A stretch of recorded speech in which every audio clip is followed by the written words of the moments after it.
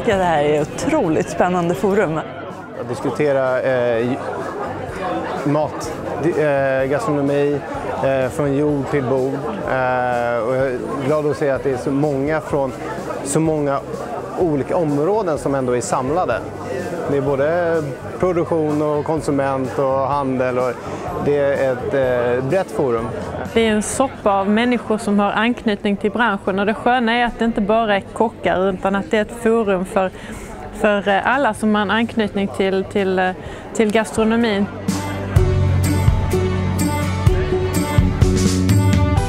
Världen har nu kommit överens om en ny utvecklingsagenda i princip. Vi har satt upp nya utvecklingsmål, eh, de här eh, hållbarhetsmålen då, och vi har kommit fram till ett nytt klimatavtal. Och i båda de här frågorna som är otroligt centrala för en omställning till hållbar utveckling så, så finns mat som en av nyckel, det som man verkligen kan göra, göra någonting åt då för att nå de här målen. Det är ju mycket snack om ekologiskt och vegetariskt och äta kött men liksom, vi måste börja prata om vad som är hållbart på riktigt. Att alla personer som är här, de har sina aktiviteter, de brinner för dem, plus att de vill samverka med andra för att åstadkomma väldigt mycket bra för, för Sverige och för faktiskt världen också i framtiden.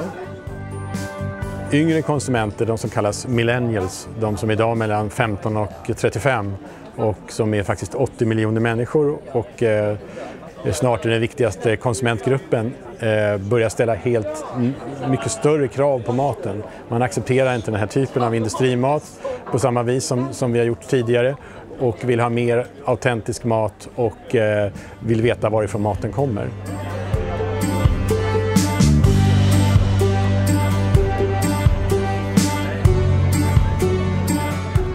Thomas har hela tiden trott på oss och sagt att vi, vi kommer vinna men jag har inte riktigt vågat hoppas på det. Men så det är jättekul såklart och eh, ärofyllt. Fantastiskt, eh, fantastiska andra bidrag. Att det var en bra produkt, rätt i tid och um, folk, liksom allmänheten börjar på allvar vet vad ramslök är. Och så kommer den här då, så det, allting låg rätt. Men det viktiga för varför den vann det är för att det var eh, gott alltså. Den är bra.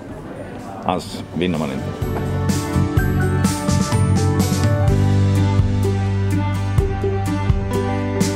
Man är här så känner man att man är på väg in i framtiden.